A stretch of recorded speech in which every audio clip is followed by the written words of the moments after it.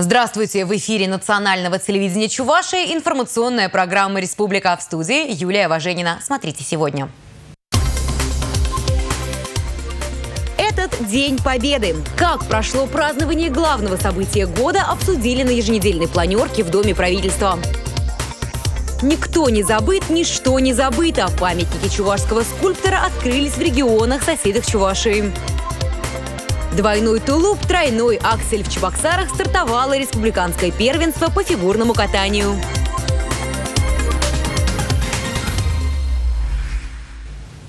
В Государственной Думе Российской Федерации начались Дни Чувашии. Деловая программа открылась расширенным заседанием Комитета по экономической политике, инновационному развитию и предпринимательству. В его работе приняли участие министры, депутаты Госсовета Чувашии, руководители предприятий и организаций нашей республики. В Москве работает наша съемочная группа. Речь шла о расширении мер поддержки отечественных товаропроизводителей, о защите конкуренции, финансово-платежной дисциплине в контрактной системе, регулировании алкогольного рынка. По мнению промышленников, а в заседании участвовали руководители предприятий электротехнического кластера, машиностроения и переработки, сегодня у иностранных производителей немало преференций. Хотелось бы, чтобы российские законодатели активно включились в правовую работу и помогли нашим производителям. В создавшихся экономических условиях условиях защита внутреннего рынка должна носить систематический характер. Отдельно шла речь о поддержке малого и среднего предпринимательства. Сегодня вот мы обсуждали, какие проблемы испытывает малый бизнес в своей деятельности, и вот как их решить. Это и по налогам различным, которые сегодня, и по банковским кредитам, ну, эти все вещи. Поэтому я тоже думаю, что если нас услышат, э, малому бизнесу станет легче жить в республике и в Российской Федерации. Сегодня же начала свою работу экспозиция, посвященная экономическому потенциалу Чувашии, ее истории и культуре. На выставке представлены работы чувашского художника Геннадия Фомерякова, национальные костюмы из музейных коллекций. Завтра в Госдуме пройдет презентация Чувашии. Ожидается выступление главы республики Михаила Игнатьева. Как всегда, мы расскажем об этом в информационной программе «Республика». Отгремел праздничный салют в честь Великой Победы. Закончились главные мероприятия, но наша память вечна, как вечен подвиг тех, кто подарил нам мирное небо. Как прошел День Победы в столице республики в нашем репортаже. В мемориальном парке «Победа» по традиции состоялась торжественная церемония возложения цветов к монументу славы. Каждый год сюда приходят немало чебоксарцев, ветераны со своими близкими, офицеры в запасе, школьники. Но нынешнее 9 мая побило все рекорды. Аллея славы еле вместила всех пришедших. Мы, живущие в этом мире сегодня под ярким солнцем, должны всегда помнить и не забывать, какой ценой завоевано это счастье, это солнце. Мы должны передавать своим детям, внукам, своим студентам, преподавателям которых я являюсь, именно эту память, чтобы они знали, чего это стоит и умели, так сказать, нести это знамя победы гордо, высоко и гордиться, что мы Россия, э, граждане России. И мы являемся, Россия, победителями в этой великой Отечественной войне.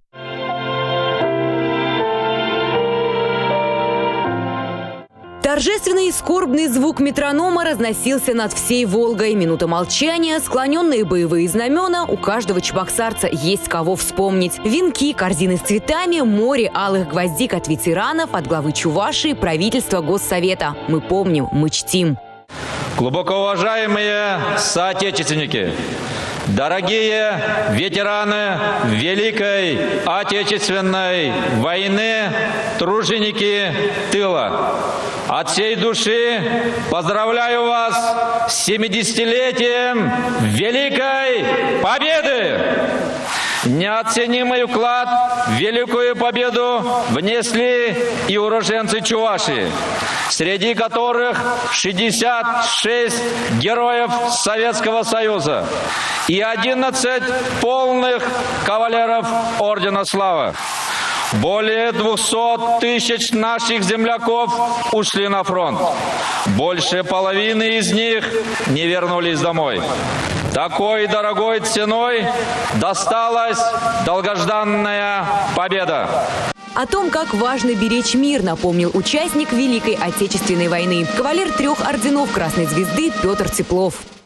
Я хочу обратиться к молодежи. Будьте всегда бдительны, будьте всегда готовы к защите нашей Родины.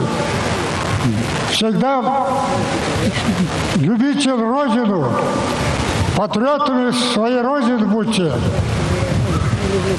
Желаю всем еще раз крепкого здоровья, праздников, мира и мира.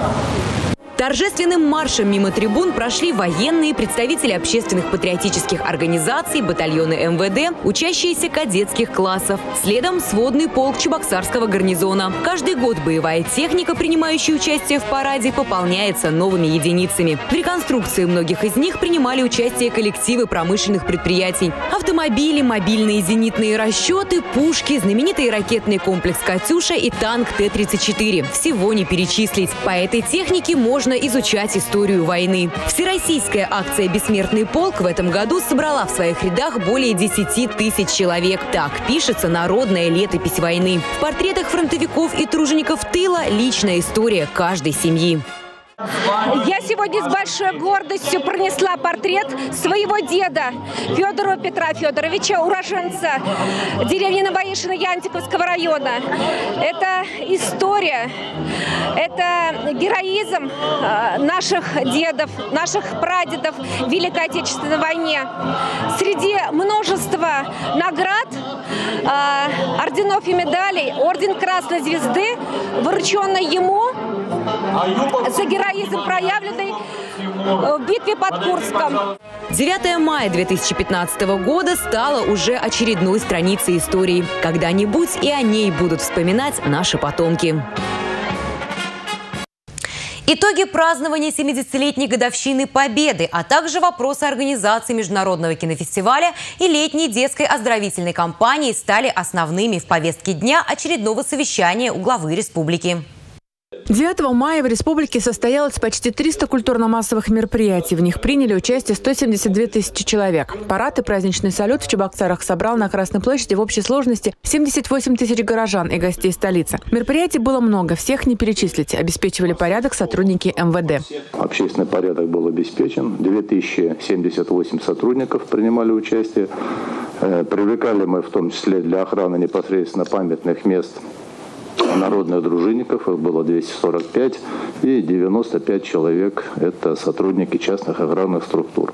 9 мая в торжественном митинге параде на Красной площади приняли участие 30 ветеранов и вдов участников войны. В этом году им особая забота и внимание. Они отдыхали и поправляли здоровье в социально-оздоровительном центре «Вега», лечились в больницах. Для некоторых по состоянию здоровья был организован патронат на дому. Те, кто смог прийти на митинг сам, не пожалел. Когда после парада мы сидели с ними за кашей, за фронтовыми 100 граммами. Они действительно высказали слова благодарности им искренне все понравилось. Министр здравоохранения и социального развития Алла Самойлова проинформировала, что органы социальной защиты населения доставили более 25 тысяч именных поздравлений главы Чувашской республики. Вручили 24 тысячи юбилейные медали. Через неделю в Чебоксарах откроется восьмой международный кинофестиваль. По информации министра культуры в конкурсной программе полнометражных фильмов 11 картин, в конкурсной программе игрового кино малых народов 13. Всего жители Чувашии смогут увидеть 43 картины. Всего э, в программе кино фестиваля состоятся э, более 110 мероприятий. Это, значит, конкурсный показ самих фильмов, э, как полнометражных, так и э, игрового кино малых народов, специальные события. Будет сформирована программа специальная программа «Кино детям». Кинопоказы пройдут во всех кинотеатрах столицы Чуваши, а также в Национальной библиотеке, в Институте культуры, во Дворце культуры «Салют». Фестивальные площадки откроются и в некоторых районных центрах. На детскую оздоровительную кампанию этим летом будет направлено более полумиллиона рублей. Откроются 20 детских лагерей и 5 санаторно-курортных организаций.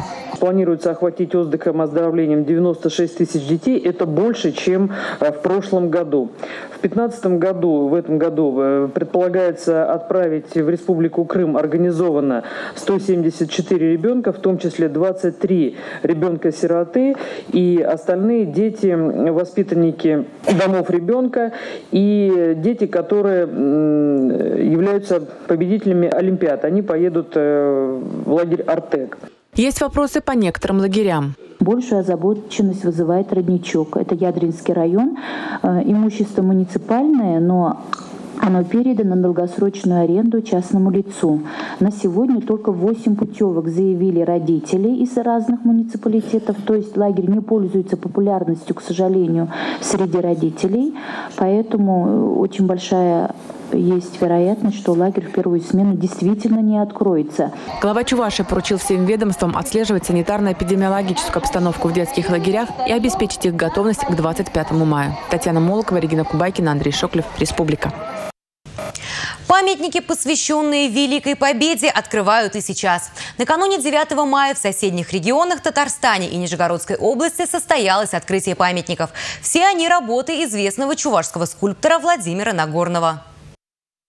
Памятник матери-покровительницы, классику чувашской поэзии Константину Иванову и известному офтальмологу Святославу Федорову. Творчество мастера известно далеко за пределами Чувашии. Стеллу, посвященную героям Великой Отечественной в селе Старое Дрожаное, практически не узнать. К годовщине Победы на ней вновь засияли имена героев войны, жителей Дрожановского района Татарстана. Свой бронзовый солдат появился и в поселке Воротынец. Мужественный герой – олицетворение отваги и храбрости советского народа. Он является является не только частью нашей памяти о великой победе нашего народа в Великой Отечественной войне, но и будет являться символом всем нашим защитникам Родины, которые защищали, защищают и будут защищать нашу Родину. 70 лет назад закончилась война, но память о героях тех лет живет до сих пор. Для жителей городов и районов такие монументы и стелы – напоминания о родных и близких, погибших на войне.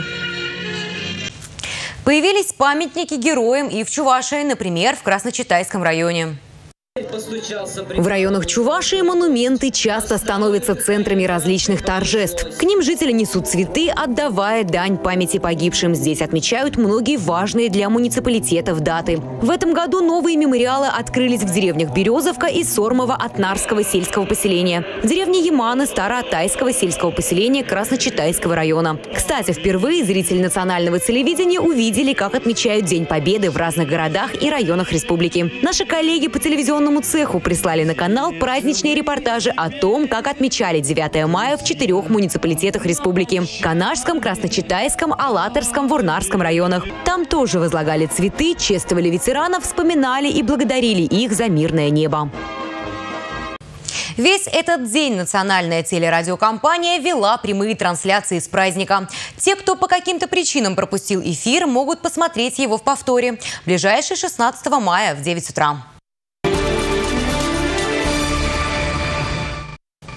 По данным Министерства сельского хозяйства республики, засеяно 129 тысяч гектаров. Это 65% к плану. Близки к завершению весенне-полевые работы хозяйства Яльчикского и Шамуршинского районов. Самые низкие показатели в Маргаушском и Красночитайском. На полях одной из агрофирм Комсомольского района побывал глава Чувашии Михаил Игнатьев. Этой весной в агрофирме «Слава картофелю» планируют посадить более 750 гектаров второго хлеба. В прошлом году здесь удалось собрать 6 тысяч тонн картофеля. Аграрии отмечают, что и в этот раз делают ставку на урожайные сорта. Серьезных проблем с техникой пока не возникает, работы идут по плану. Благоприятствуют аграриям и погодные условия. Главное сейчас сохранить оптимальное количество влаги в почве. Михаил Игнатьев отметил, что ход весенней страды он контролирует лично. В Комсомольском районе они практически 50% уже работ выполнили. Э, глава администрации сегодня мне доложил. Депутаты Государственного совета от Комсомольского района Петр Степанович Киамедин Сардиневич отслеживают, общаются с механизаторами. Я пообщался. Настроение у них хорошее, рабочее, приподнятое. И, в принципе, э, в этом году мы должны лучше сработать, чем в прошлом 2014 году. В Чувашии продолжается работа по государственной кадастровой оценке земель. О промежуточных результатах говорили на комиссии под руководством председателя Кабинета министров Чувашской республики Ивана Моторина. Актуализация кадастровой оценки сельскохозяйственных земель – требование времени. Годами длящийся разнобой в стоимости очень важного товара приводил к значительным потерям в бюджетах местных муниципалитетов. Никто не знал истинной цены земель разных категорий, поэтому и отдавали за бесценок. Работа была проделана большая. Учету подверглись многие территории. Работа выполнена. Исключили из перечня земельные участки, содержащие списки провели работу полноты наличия характеристик в составе оставшихся перечней земельных участков, достоверности сложившейся информации, уточнение характеристик о земельных участках, формирование протокола проверки.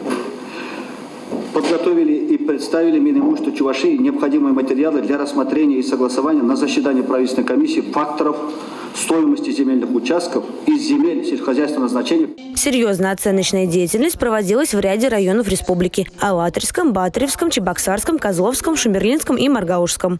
В качестве основных факторов, которые оказывают существенное влияние на стоимость, а, были выявлены такие, как функциональное назначение, площадь участка, расстояние до ближайших центров сбыта сельскохозяйственной продукции и удаленность а, от населенного пункта. Нынешняя государственная кадастровая оценка земель станет хорошей базой для начисления земельного налога, арендной платы и других платежей при совершении хозяйственных операций с земельными участками. Татьяна Леонтьева, Андрей Шоклев, Республика. К другим новостям. Президент России подписал указ о назначении Сергея Легостаева прокурором Чувашии. Соответствующий указ глава государства подписал 8 мая. Еще в марте Госсовет Чувашии согласовал кандидатуру Сергея Легостаева на должность прокурора. Ранее он возглавлял прокуратуру Рязанской области. Новый руководитель региональной прокуратуры назначен на пятилетний срок.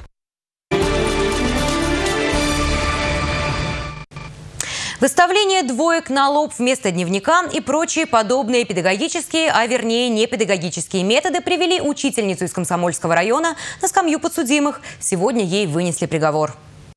Воспоминания своей первой учительницы учеников Комсомольской средней общеобразовательной школы номер один будут явно не светлые. Своим подопечным она заклеивала рот скотчем, дергала за волосы, рисовала им на лбу двойки красными чернилами. Однажды заставила стоя писать диктант весь урок. Как следует из материалов уголовного дела, с февраля 2013 по май 2014 года а, подозреваемая а, применяла недозволенные методы воспитания в отношении а, детей своего класса, которые обучались в 2012-2013 учебном году в первом классе, а в 2013-2014 годах а, учебном году а, во втором классе. Она признана виновной а, в истязании заведомо несовершеннолетней, а также неисполнение обязанностей по воспитанию несовершеннолетних, соединенным с жестоким обращением с ними. А учительница назначена наказание в виде трех лет лишения свободы условно с испытательным сроком два года. Также ей назначено дополнительное наказание в виде штрафа в размере 50 тысяч рублей. И она лишена права заниматься педагогической деятельностью на срок два года. Кроме того, директора данной школы уволили, а ее заместитель по воспитательной работе получил выговор. На мировом уровне активно развивается киберспорт. В столице Польши второй год подряд сражаются лучшие команды со всего мира. В гранд-финале в игре танковых боев Международной киберспортивной лиги по стратегическим компьютерным играм сборная СНГ стала чемпионом мира. В составе семи лучших геймеров чебоксарец Максим Михеев.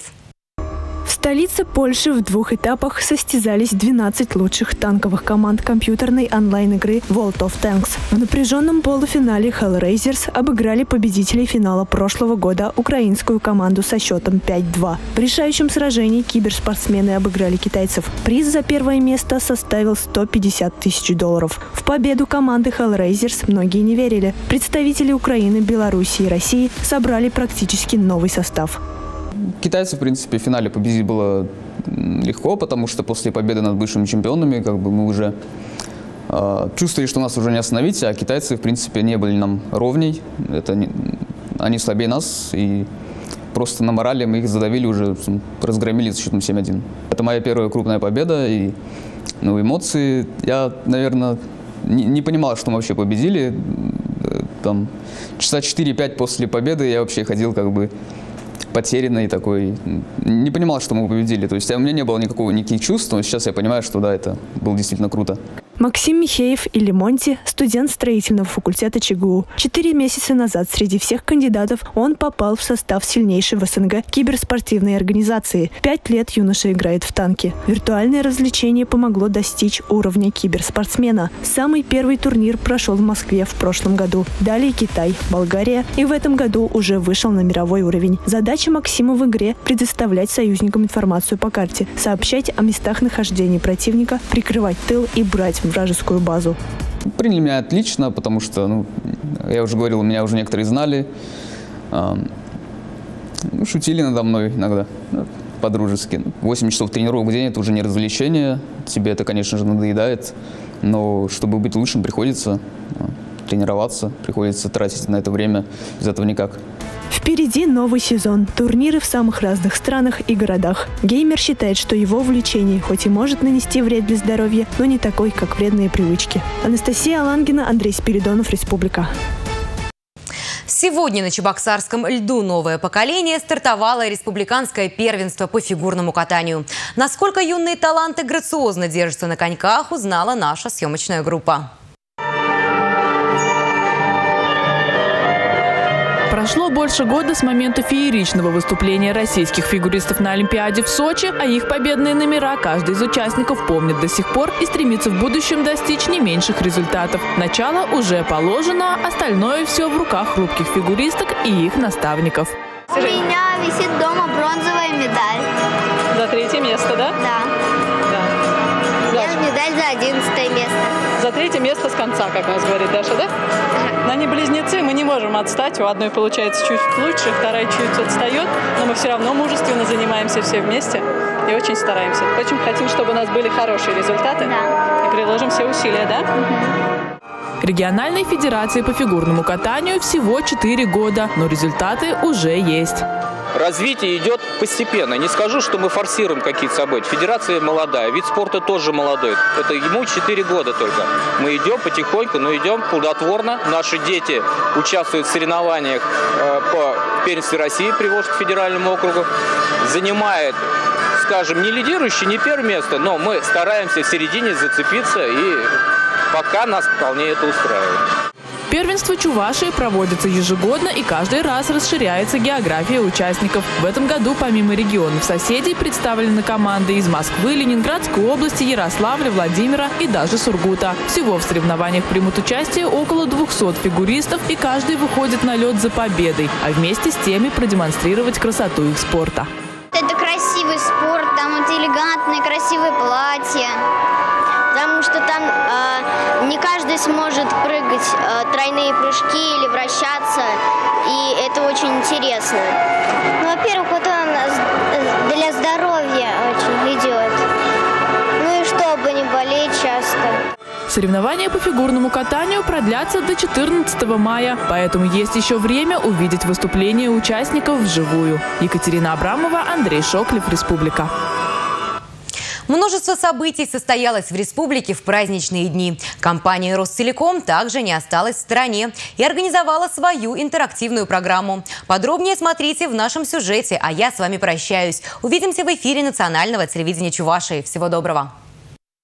Кто-то фотографируется, кто-то играет, а кто-то поет. Интерактивная площадка компании «Ростелеком» развернулась в Лакреевском лесу. Спеть бесплатно в караоке, сфотографироваться на фоне военной инсценировки с пулеметом «Максим», набрать наибольшее количество голосов в официальной группе ВКонтакте и выиграть приз. Все это мог сделать каждый желающий. Помимо развлечений, представители компании рассказывали о своих новых услугах. Ростелеком предлагает э, всем подключить услугу интерактивное телевидение.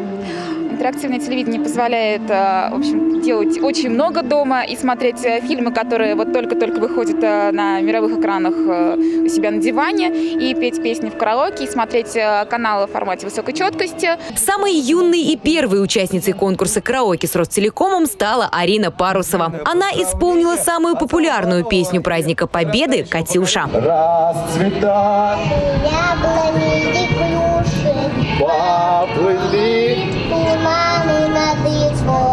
Вот уже три недели Арина с родителями готовилась к 9 мая. Учила песню в честь Великой Победы. Надо с детства приучать патриотическое воспитание. У нас дедушка тоже служил и прадед служил.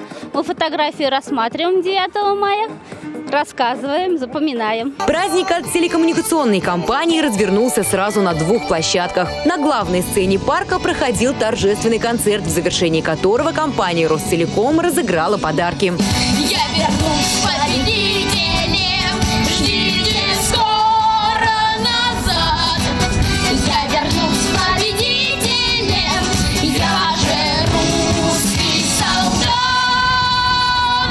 26 апреля всем желающим покататься на аттракционах Лакреевского леса вместе с билетами выдавали купоны. По их номерам в День Великой Победы разыгрывали подарки. Самый главный приз – планшет от компании «Ростелеком» достался Екатерине Ремезовой. Кстати, 9 мая девушка праздновала не только День Победы, но и свой день рождения. Сегодня день рождения, вдвойне приятно получить подарок в этот день. Я вообще сейчас в шоке. Просто очень хотелось, победили. Еще не все победители конкурсов ко Дню Победы определены. Соревнования за самую оригинальную фотографию с пулеметом «Максим» стартовало сегодня, 12 мая в 16 часов. Собрать наибольшее количество голосов под своим снимком всем участникам нужно до 10.00 19 мая. Победитель конкурса, который получит приз от компании, будет определен 20 мая в 11 часов.